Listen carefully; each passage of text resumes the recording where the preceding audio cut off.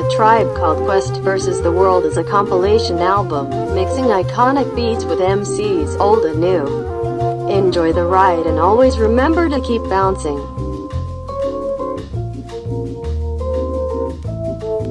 Well, first is Q-Tip. Q-Tip is he he is the voice of your conscience. And there's Fife. He is the guy on the block. Ali was like the dope DJ producer who